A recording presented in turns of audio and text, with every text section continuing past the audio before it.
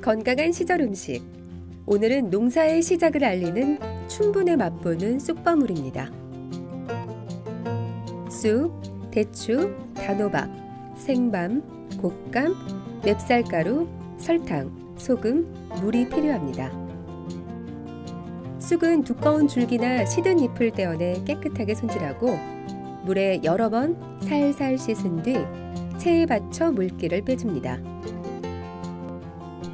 생밤 단호박은 잘게 썰고 씨를 제거한 대추는 채 썰어줍니다.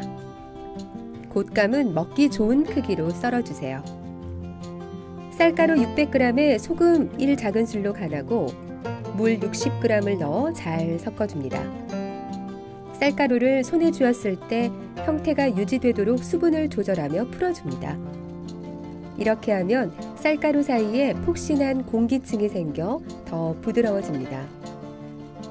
이제 체에 받쳐 준비하고 마지막으로 설탕을 넣고 버무려 준비합니다.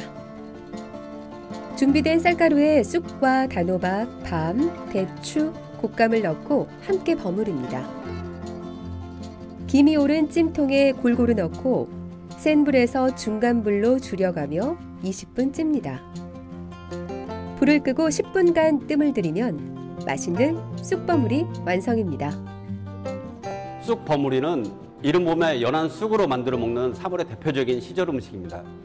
이 시기에 농가에서 영양 가득한 쑥과 봄나무를 먹고 힘을 내 한 해 동안 농사를 시작했다고 합니다. 여러분도 향긋한 쑥 향기로 봄의 시작을 느껴보시기 바랍니다.